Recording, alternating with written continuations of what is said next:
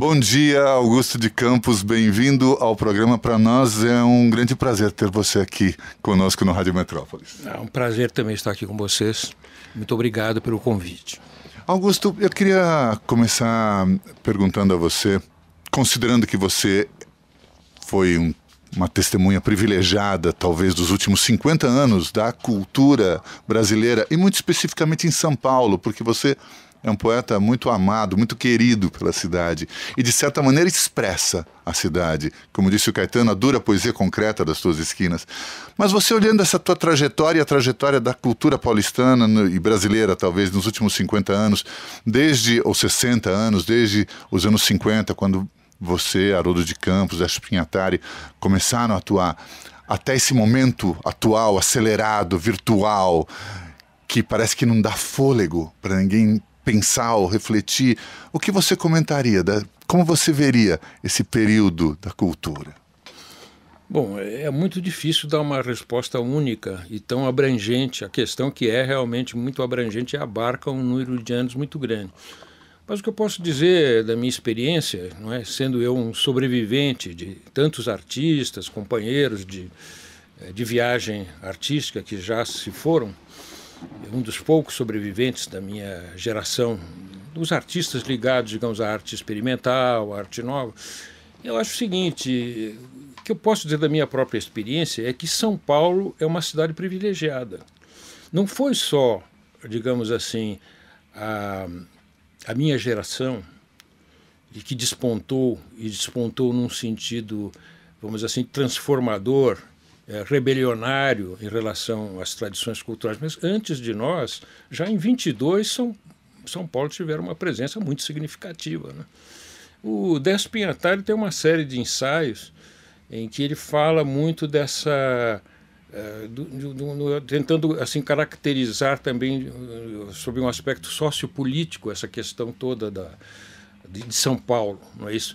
A mudança do mundo rural para o mundo industrial, a força industrial que São Paulo adquiriu, mudando um pouco o eixo da, eh, cultural do Brasil, que se movia mais entre Rio e São Paulo, vindo as, a, os eh, intelectuais da província para o Rio de Janeiro. Por quê? Porque o Rio de Janeiro era a capital, onde eles poderiam ter empregos uh, é? e, e conseguir, enfim, uma, um maior destaque através do, dos jornais, não é? E São Paulo começando realmente como uma pequena província, mas rapidamente uh, se tornando pela força industrial e cosmopolita, porque ele se fez em grande parte também por imig pelas imigrações, não é? que foram muito grandes ao longo da primeira metade do século XX. E São Paulo adquiriu realmente essa essa condição movida assim por um lado mais progressista que estava envolvido com a revolução industrial e futuramente estaria ainda mais com a revolução tecnológica que nós estamos assistindo agora.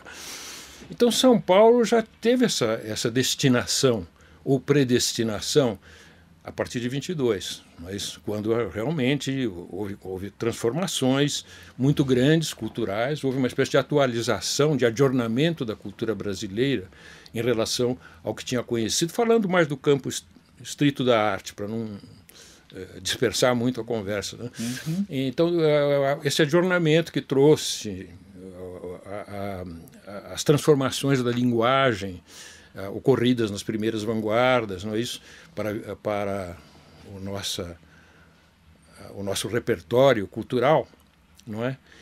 E depois houve realmente um grande, do ponto de vista, para sintetizar, tentar sintetizar um pouco, poder responder assim mais brevemente a sua pergunta, houve um, um, uma grande um grande vácuo cultural que foi criado uh, no sentido de, transformações culturais, possivelmente provocado pelas duas grandes guerras. Não se pode esquecer isso. Num, prazo muito curto, não é na primeira metade do século, houve duas conflagrações monumentais. Você vê hoje, quando se, uh, se recorda a Primeira Grande Guerra, foi uma catástrofe, uma mortandade brutal. E com um, um breve intervalo, intermediado pelo crash da Bolsa, não é? que empobreceu os americanos, acabou com a geração perdida norte-americana, né? É, é, aqueles anos brilhantes. É, com, com, esse pequeno intervalo, é? já ocorreu uma segunda e violentíssima conflagração. Nessa, do ponto de vista cultural, nessa guerra aconteceu um outra, uma outra catástrofe no mundo das artes. É que a arte moderna, que tinha é, tomado um grande impulso no começo do século, foi perseguida pelas duas grandes ditaduras. A nazista, né, segundo a qual os, os artistas modernos eram degenerados, na expressão usual, e a, a, a Rússia stalinista, que num primeiro momento teve artistas como Kandinsky, como outros uh, grandes uh, intelectuais, grandes poetas ligados à Revolução Russa, mas rapidamente, à medida que o Stalin assumiu o poder, mais ou menos a partir de 30, coincidindo com o suicídio do Mayakovsky, não, não por outras razões, não é isso, também passou a institucionalizar o realismo socialista, a doutrina da, da arte para o povo, e, e simplesmente acabou. Acabou não, não só intelectualmente, mas acabou materialmente pelo, pela perseguição, pelo, pela marginalização em campos eh, de trabalhos forçados, pelo suicídio, pela, pela inviabilidade total, pela marginalização total com a, com a geração, a grande geração russa. Então, o que aconteceu foi o seguinte: com a respiração que ocorreu a partir de 45, fim da Segunda Grande Guerra, começaram novamente a surgir uh, potencialidades culturais renovadoras. E o que e em São Paulo não deu outra.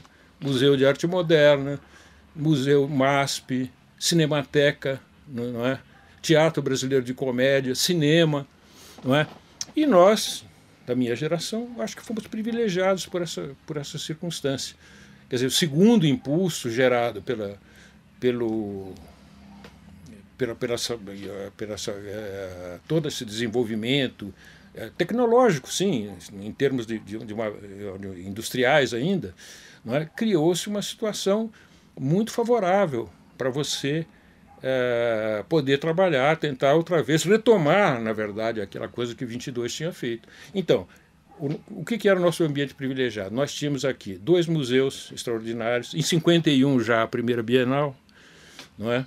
é tínhamos o Teatro Brasileiro de Comédia, apresentando Beckett, apresentando não é, Ionesco, né, ao lado de outras coisas mais tradicionais. Mas tínhamos, tínhamos a livraria francesa, onde você tinha todo o repertório é, continuamente renovado da produção cultural francesa. Tinha a livraria pioneira, que foi criada aqui e que, e que foi a, a porta-voz, vamos dizer assim, da grande ingresso da literatura anglo-saxônica, que se deu exatamente no pós-guerra, naturalmente patrocinada pela boa política de boa vizinhança, é? E tínhamos a livraria italiana, nós somos aqui todos mais ou menos italianos, dominávamos com facilidade o italiano. Então, esse repertório todo, no, musicalmente veio o Kjell aqui para São Paulo. Eu frequentei os cursos de, de, música nova dele da Rua Sergipe.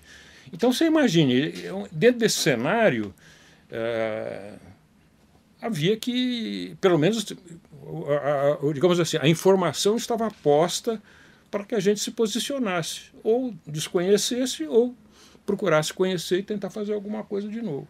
Esse é o quadro que eu vejo à distância, assim. Eu queria comentar com os nossos ouvintes que maravilha poder ter uma síntese do século XX culturalmente feita por Augusto de Campos. Augusto, você se referiu a todo o processo agora há pouco da da evolução cultural, digamos assim, do, das vicissitudes culturais da cidade de São Paulo. Mas eu queria é, destacar uma questão que você mencionou, a existência das livrarias estrangeiras e que, portanto, colocavam ao dispor uma literatura em idiomas estrangeiros.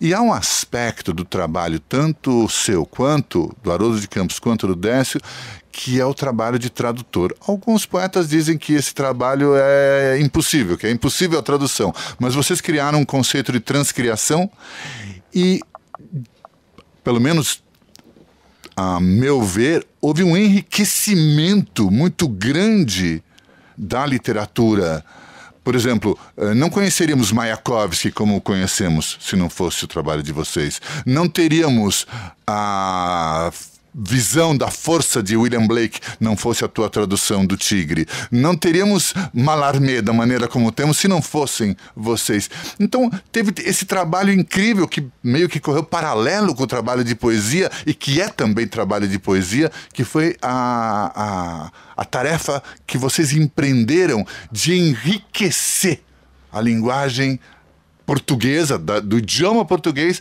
com, a, com esses trazendo essas fontes. É, gostaria que você falasse um pouco disso.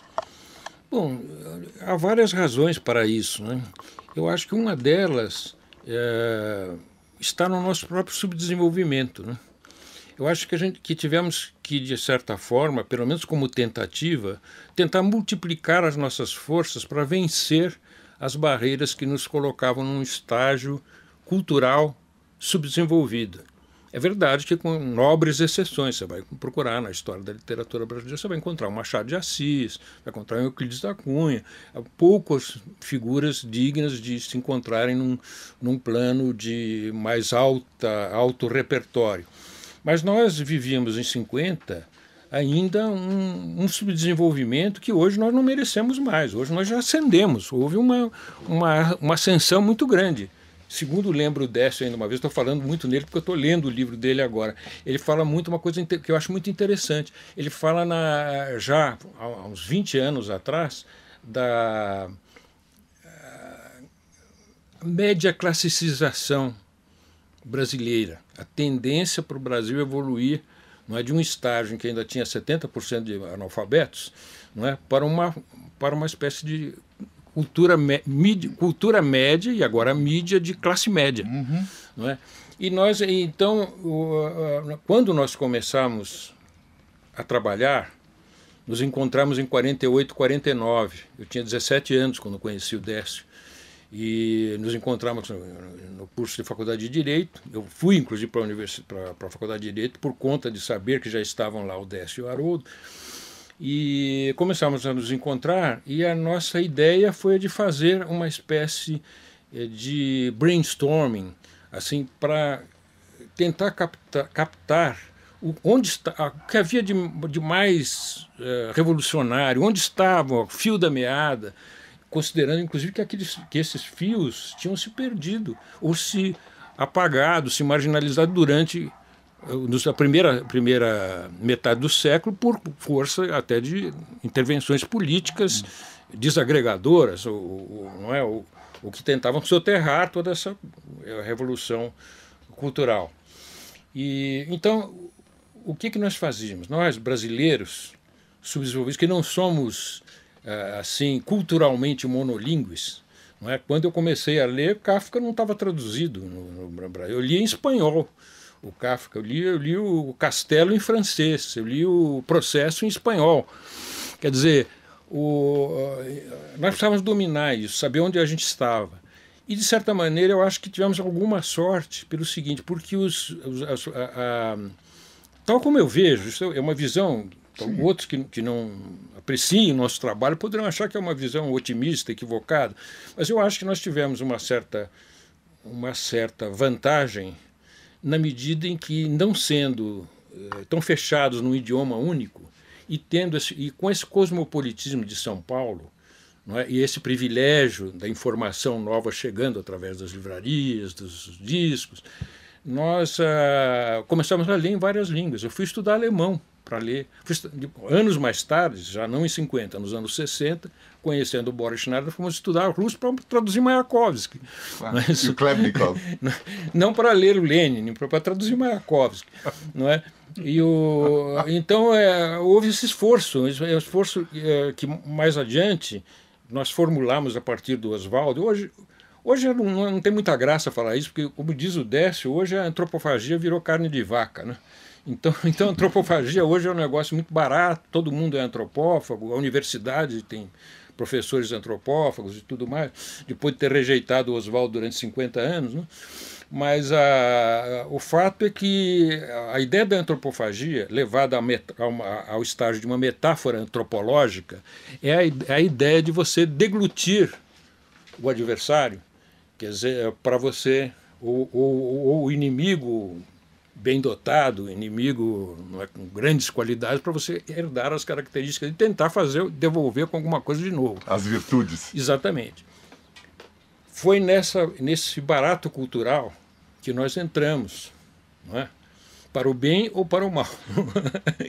e, tem, e, a ideia foi essa, a gente lia tudo. E, e naquele, naquele período aconteceram coisas extraordinárias. Você pense, pense o seguinte, em 48, Eliot ganhou o prêmio Nobel, acho que 48, se não me engano. Em 48 ou 49, o Pound, que estava encarcerado na, em Washington, ganha o prêmio Bollinger para grande escândalo e controvérsia uh, universal e, particularmente americana, porque ele tinha aderido ao fascismo, era um antissemita e, é naturalmente esse, essa discussão cultural desbordou para outros campos, criando essa polêmica toda. Nós fomos diretamente lá. Gostamos muito, gostávamos muito do Wasteland do Eliot, que era uma peça magnífica, um dos maiores poemas do século XX e dos grandes poemas de todos os tempos, mas preferíamos o Pound que achávamos mais é, radical, mais instigante. Não, o, o Eliot se tornou depois, eh, se converteu ao anglicanismo, se tornou mais um, um neoclássico, e o Pound continuou produzindo uh, o mais radicalidade, fazendo dos cantos pisando uma espécie de mosaico de aicais, né? uma coisa impressionante como novidade até para nós. Né? Então nós buscávamos nessas fontes alimentação, um nutrimento de impulso, né, segundo a expressão do próprio Brown, para tentar criar uma coisa nova. Onde é que nós vamos entrar aqui? E foi daí que chegamos à poesia concreta, que em pouco, nos anos 50, se tornou um movimento internacional, né? no, no qual talvez pela primeira vez, brasileiros entraram na primeira hora e não na décima ou na quinta hora. Nós fomos, tivemos entre os formadores da, desse movimento internacional. A Exposição Nacional de Arte Concreta, onde os poemas estavam expostos em cartazes ao lado de, insolitamente ao lado de quadros e esculturas, foi aqui no Brasil em dezembro de 56, não há outra que tenha precedido. Há, né, eventualmente, uh, post-factum, é? começam a aparecer em, toda, em todos os países alguém que tira da gaveta o poema, ah, mas eu já fazia isso, eu já tinha feito, mas a verdade é que a apresentação, a exteriorização, em termos de movimento e em termos de, de atuação coletiva, se deu aqui no Brasil, e não fora um momento incrivelmente privilegiado do Brasil, um momento de expansão, eu diria, expansão cultural, um momento de felicidade que, porém, não tem uma duração muito grande, porque logo vem a ditadura nos anos 60 e tudo começa a continuar, mas sob uma sombra. É, como é que você vê esse momento musicalmente, poeticamente?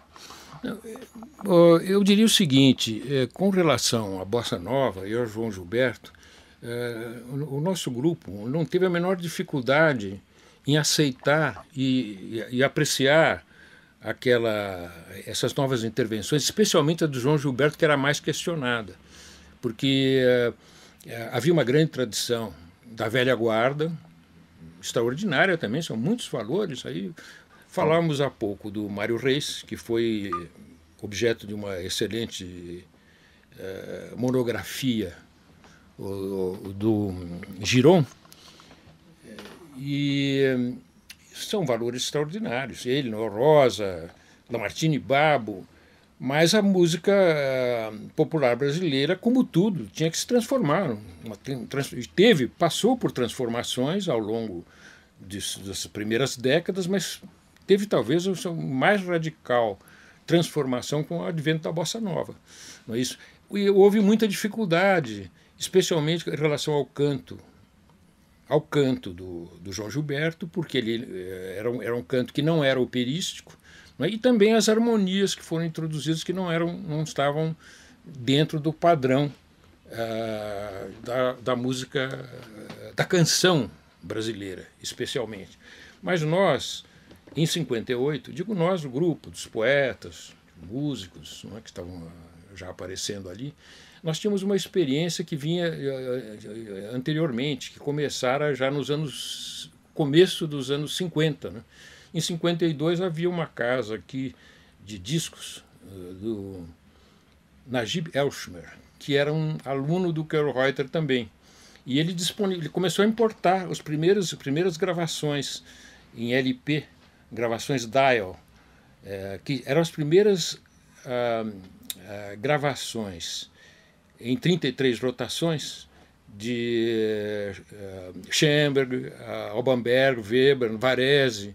É? Então nós já, nós tínhamos essa experiência. Pierrot Lunar já tinha ouvido Pierrot Lunar nos anos começo dos anos 50. Quando surgiram aquelas coisas que aquelas formas diferenciadas de cantar que muita gente não aceitou, para nós aquilo era era plenamente assimilável, silêncios, não é? Na, na, característicos da, da, da música da, da, da, segunda escola vienense.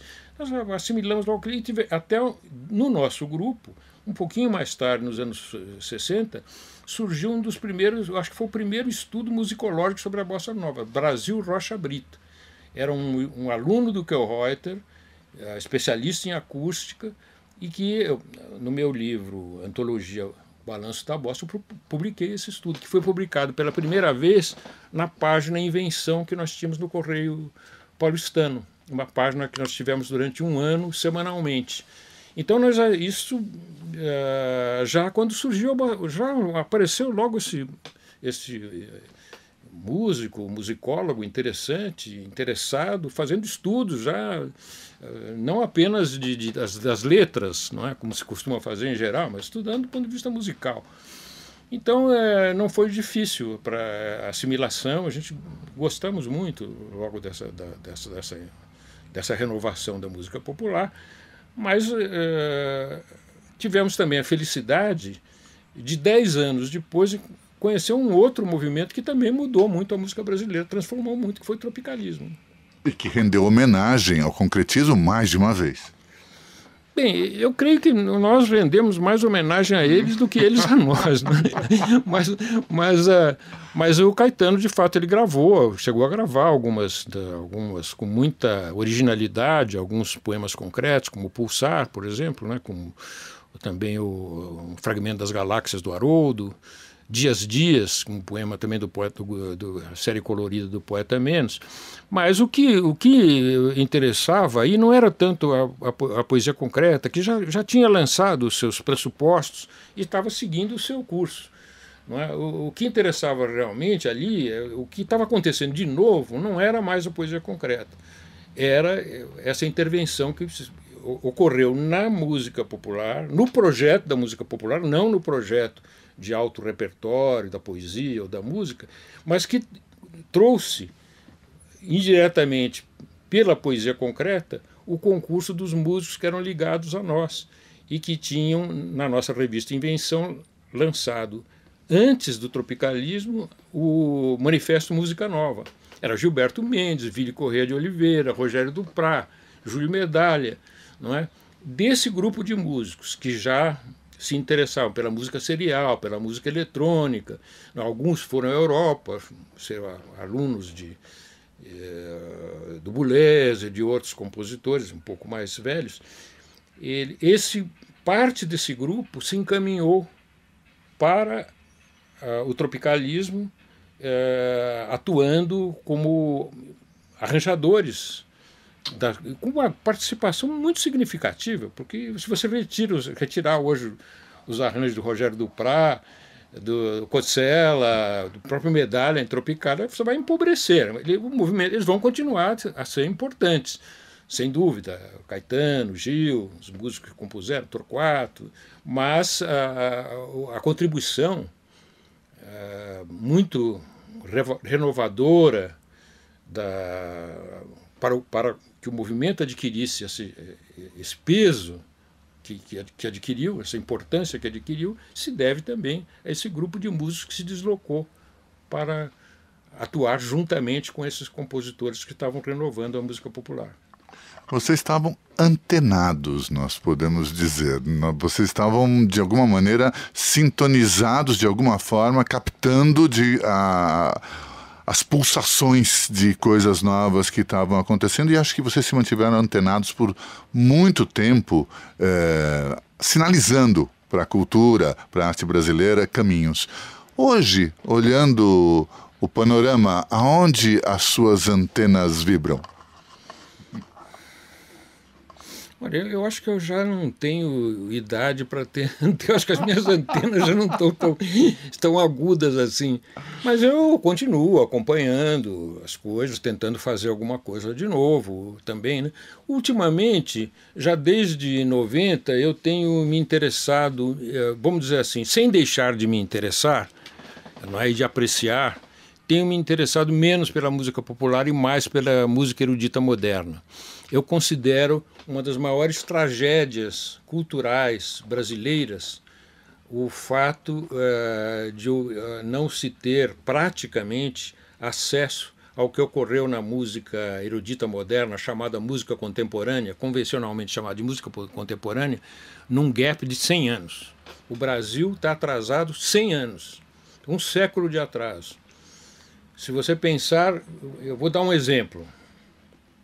Ah, em, em 1980, a editora Abril lançou uma coleção de LPs de música clássica. E lançava coleção de jazz, música clássica.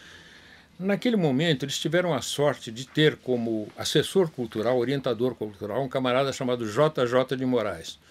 Talvez o melhor crítico de música erudita que já passou por aqui, que eu conheço. É, eu, ele assessorava. Então, fazia-se um largo panorama da música, desde Machot, né, desde a Idade Média, música ocidental, né? E, e terminava-se com Stravinsky, Sagração da Primavera, mais uma ou canto, uma das, das, outras peças mais acessível do, do período anterior, e com o Pierrot Lunar do Schoenberg.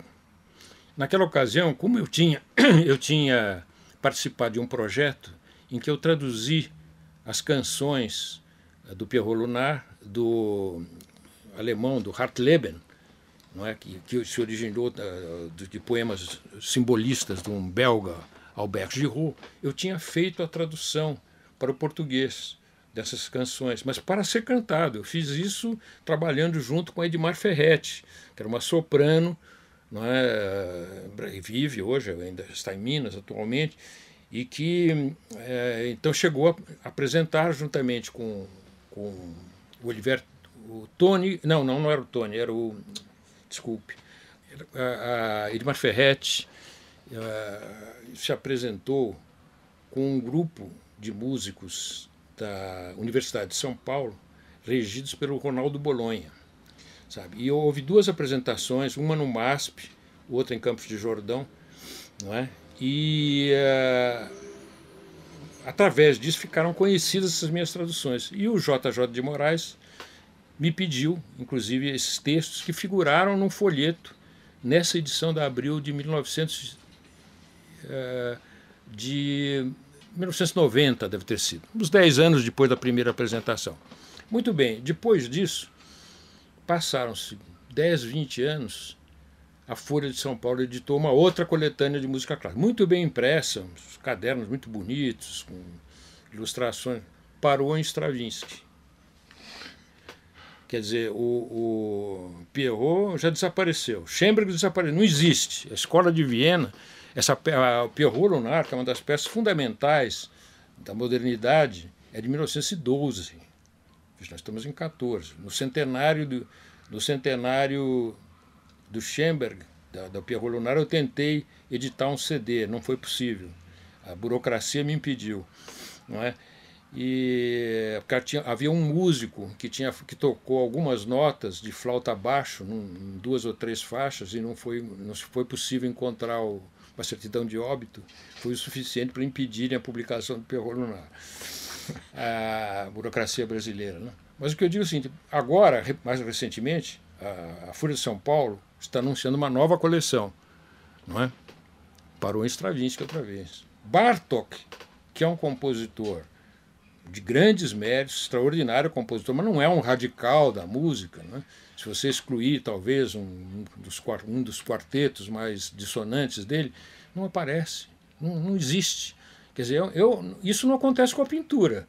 Você vê aí as bienais se sucedem apresentando as mais variadas manifestações artísticas, todos os, os grandes pintores já passaram de Picasso para diante, já passaram e de impressionistas para trás, já, já visitaram os nossos museus aqui e você musicalmente você tem 100 anos de atraso. Não se permite o público acha-se que o público brasileiro não é suficientemente inteligente ou sensível para ouvir alguma coisa além da Sagração da Primavera do Stravinsky. 100 anos de atraso. Augusto. E, então, por causa, por conta disso, voltando à sua pergunta, me demorei um pouco demais. Eu, eu publiquei Música de Invenção, esse meu livro, que saiu no, nos anos 90, só praticamente sobre música erudita contemporânea e música antiga, né? Os trovadores provençais, que é um outro tema que me interessa muito. E agora tô, entreguei à editora Perspectiva Música de Invenção 2, que segue o mesmo roteiro. Você dirá, mas então não existe interesse, não existe música popular interessante? Eu falo, existe, mas a música popular agora é vencedora, não, tenho mais o que fazer. Né? Eu lutei pela música popular quando ela era contra, contrastada ou contraditada pela, pela imprensa quase que toda, não é? Eu hoje eu acho que eu sou mais útil em outro lugar, eu sou mais útil tentando eh, fazer ver, eh, eh, enfim, a quem queira, as entidades que são que tem poder para divulgar música, enfim, as orquestras e ao próprio público, tentando interessá-lo numa, numa maior assimilação dessas conquistas musicais que ficaram tão completamente alienadas da cultura brasileira. É, é a maior, a maior, a, a mais significativa a falta que eu acho que ocorre no, no espaço cultural brasileiro. Que peças musicais você acha que deveriam ser ouvidas? Você poderia nos dar um, um pequeno leque, uma pequena seleção? Praticamente tudo. Porque, como eu digo, você parou em Stravinsky. Não, quer dizer, não é que não ocorra. A própria, eu acho que a própria Rádio Cultura tem programas em que difunde aqui e ali, mas mesmo esse esforço ainda é muito pouco, é muito pequeno. Quer dizer, o que se, o que se executa, na, é, mesmo em termos de das poucas orquestras sinfônicas que nós temos aqui, é, é acho que 80% música clássica romântica. Quer dizer, não eu, eu, por acaso, assisti um concerto magnífico na, na Sala São Paulo, pela Rosef, no ano, fim do ano passado. Era a Sagração de Stravinsky, mas tinha junto as Amériques do, do Varese, que é uma peça para grande orquestra, mas só de percussão, né? com as sirenes que ele introduziu na, na e que, que, depois reaparece na Ionization, né? Essa, o Ionização, se você quiser, porque ele é um francês, franco-americano, na verdade, mas de origem francesa. E o, então são, é uma coisa excepcional, isso é 1%. Eu acho que é a primeira vez que se ouviu que se ouviu no Brasil, no Brasil essa, essa peça, Amérique. O Sesc lançou dois volumes já do Luciano Berio. Sim, eu sei disso. Inclusive, eu acho que o, o Ricardo Bolonha, maestro, filho do Ronaldo Bolonha, do Pierro Lunaro, eu acho que tem participação em pelo menos uma dessas gravações. É, então, esse, parece que é coisa genética. É genética. Felizmente, né? Os músicos continuam. Né? Tá certo. Augusto, para a gente é, encerrar, mas é, eu queria que você nos falasse agora é, de poesia mesmo, que, que, é, digamos assim, a tua raiz, o teu. O, como você identificado, né, não apenas como um teórico cultural das linguagens contemporâneas, mas um praticante e um amante da poesia. Queria que você nos falasse da poesia em língua portuguesa nesse momento, daquilo que se faz, daquilo que se fez, como é que você avalia o estado da poesia. Tem uma coisa curiosa: todos os presidentes americanos são obrigados uma vez por ano a fazerem um discurso chamado Discurso sobre o Estado da Nação. Acho que deveríamos pedir aos poetas que uma vez por ano nos dissesse discurso sobre o estado da poesia. Qual é o estado da poesia? Eu pergunto, alguém ainda ouve os poetas? Não, acho que a poesia está muito marginalizada. Né? Eu, eu gosto de usar uma, uma expressão em algumas entrevistas, eu tenho falado de uma comunicação interguética. quer dizer, aludindo à, internet, que é a salvação dos poetas e dos músicos, né? dos músicos contemporâneos.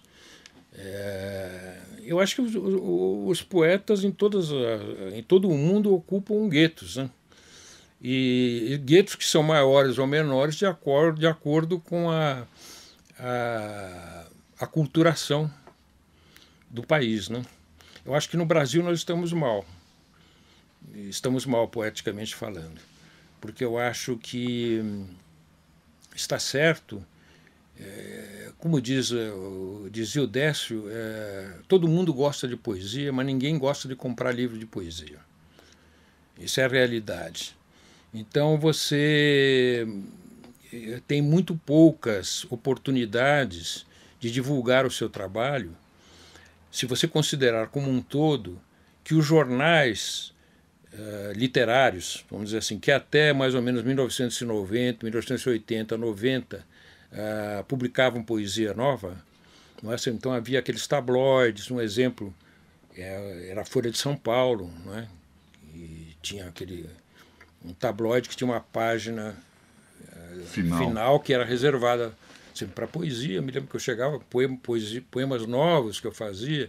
A gente entregava diagramados, que eu gosto. A minha poesia é poesia visual, tem uma, uma configuração própria. Entregava aquilo e não, aquilo não tinha a menor dificuldade. Há poemas que provocaram polêmicas muito grandes, né? como por exemplo Pós-Tudo. Pós-Tudo né? mudo. Eu publiquei, eu fiquei, eu fiquei uh, espantado, quer dizer, eu publiquei o um poema, como quem dá alguma coisa. Que, um mês depois, um, um, um, crítico que nunca tinha falado, nunca tinha se debruçado sobre a minha poesia, entrou com um tanque. Né? Aí eu respondi, eu sentindo, aí foi uma polêmica generalizada. Que no fim foi até bom, porque o, o poema ficou discutido, foi discutido até internacionalmente. Né? Mas a, a verdade é que era uma coisa. Tinha alguma coisa nova se publicar. Hoje eu faço isso comedidamente na internet. Nunca não publico mais em jornal, não tenho espaço em jornal. Então publico na internet. Então tem sites como, por exemplo, o Errática, onde eu publico meus novos poemas, poemas animados, que eu gosto de computador, trabalho na área de, de computação e então, em animações digitais, mas eu não não publico mais, quer dizer, há uma uma marginalização muito grande da poesia. Agora, a produção é outra coisa. Eu acho que a produção brasileira segue com um percurso interessante da poesia, sempre há renovação, há valores novos. Eu apenas, a minha é, não obje, objeção, porque eu acho que os poetas velhos não têm que se meter com os poetas novos, devem deixar que eles vivam a sua vida. Mas eu acho, eu cobraria dos poetas novos é, uma maior um maior conhecimento dos recursos digitais. Eu acho que ainda hoje a maioria dos poetas brasileiros, 90%, eu conheço os 10% que, que estão fora dessa, dessa minha crítica, vamos dizer assim. Mas eu acho que a maioria dos poetas brasileiros utiliza o, o computador só como processador de texto. Sabe? Da então é como se tivesse um jornal pessoal, você tem lá um blog, você publica, publica um poema por dia se você quiser, mas não, mas não é isso. Eu acho que é, a, a, o computador permitiu, e isso já faz, uh, vamos dizer, 84, 94, 30 anos, desde que a, a, Macintosh uh, personalizou os computadores icônicos, com linguagem icônica, uh, existe uma grande, uma extraordinária possibilidade de tentar investigar a linguagem icônica, a linguagem não discursiva, não é que é, na verdade, a base da poesia. E acho que faria muito bem para a poesia nova se ela assimilasse mais e melhor os novos recursos tecnológicos que o mundo digital nos propiciou há muito pouco tempo, há 30. Eu, por sorte, comecei a trabalhar uh, com, com 60 anos. Hoje não teria mais condições, porque é, é, é necessário memória, estudar programa, estudar softwares. Mas eu acho que isso aí ainda é um caminho, nós estamos, estamos num período de transição. Você veja, a internet não tem 15 anos, talvez, se você pensar em, em termos de difusão, né? não em termos de criação, mas em termos de difusão, ainda mais no Brasil, se você considerar a chegada da internet. A existência Brasil, prática. A existência prática é muito pouco tempo. O que é 30 anos? Houve uma revolução que podia medir um século nesses 30 anos. Né? Então eu acho que tem que assimilar essa linguagem para poder abrir caminho, novos caminhos, sei lá, uma, intermídias, produções intermídias, produções multimídia, o que vai ser, eu mesmo não sei. Mas eu acho que aí está uma fonte de renovação muito grande. Agora, há poucos poetas que trabalham com isso e trabalham bem. E também acontece o seguinte, também adi não adianta também você dominar essa tecnologia toda se você não tiver um potencial poético. Né? Isso é como um músico. Eu me lembro, assim, voltando um pouquinho à música, tem a história do, a história do, do Ira Gershwin, né? Ele, é, o irmão do George, George Gershwin, ele tinha sido escalado para a família para tocar piano. Então começou a estudar piano. Ah, quatro, estava lá já 14 anos, começou estudando batida. De repente chegou o irmãozinho dele, entrou lá, pegou e arrasou, né? Falou, não é, então sou eu, é comigo, não é o negócio, não é comigo. Quer dizer, você precisa ser poeta, precisa ter também, você fazer uma, começar a fazer só coisas bonitinhas, sem, sem nenhum maior espessamento, sem uma maior densidade, também não adianta. Mas eu louvo, de todo modo, a tentativa, se vier a ocorrer, de que procurem conhecer mais, porque eu acho que é, um, é uma área ainda inexplorada. Acho que a maior parte da, da, da poesia brasileira mesmo da, da jovem retrocedeu um pouco assim, é, sabe? Essa, nessa, nessa, no espírito do pós-moderno. Pós-moderno, literariamente falando, é um, é uma, um artifício para voltar ao, ao, que foi feito, ao que foi feito antes da modernidade. Pós-moderno, na verdade, é pré-moderno, não é pós-moderno. É pós, o pós-moderno é pós-moderno na arquitetura. Não é? Não é? Na medida em que ele, ele foi utilizado com a terminologia para também facilitar o trabalho. Agora, nós, na poesia concreta, bem ou mal, tendo uh, chegado a um beco sem saída ou não, nós chegamos para tornar difícil poesia, fazer poesia. Né? É como o Schoenberg dizia: eu vim aqui, primeira aula para os alunos, eu vim aqui para tornar impossível para vocês fazer música. Daí saíram Alban Berg, Weber e John Cage. Né? Bom, esse é Augusto de Campos e mostrando esse panorama, esse leque multifacetado né, e sempre variado que é, é a poesia se debruçando sobre os seus diversos cenários literários e até extra literários. Eu queria te agradecer demais essa entrevista. Eu que agradeço a oportunidade que você me dá para é, trocar ideias e conversar um pouquinho com vocês.